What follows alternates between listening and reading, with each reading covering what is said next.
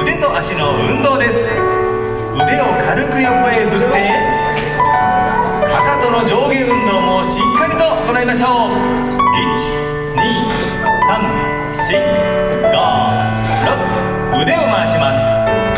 外側へ内側へ肘をできるだけ伸ばして大きな円を描くようにしましょう。3456足を開いて胸の運動。腕を振って大きく胸を反らして緩めます。